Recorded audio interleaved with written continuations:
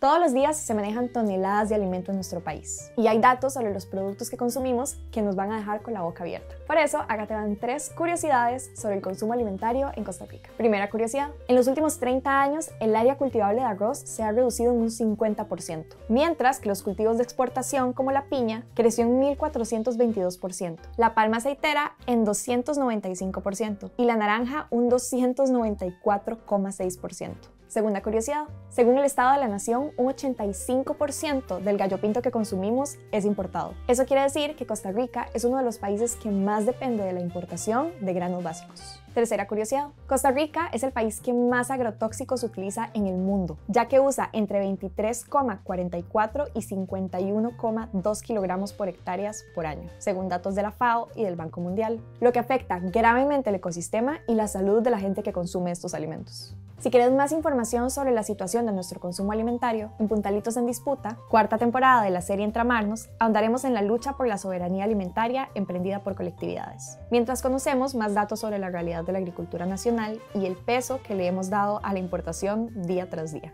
Este y otros contenidos los puedes ver en la plataforma de streaming de acceso libre ucrq.tv. Yo soy Mila y nos vemos en la siguiente edición de Q Curiosidades.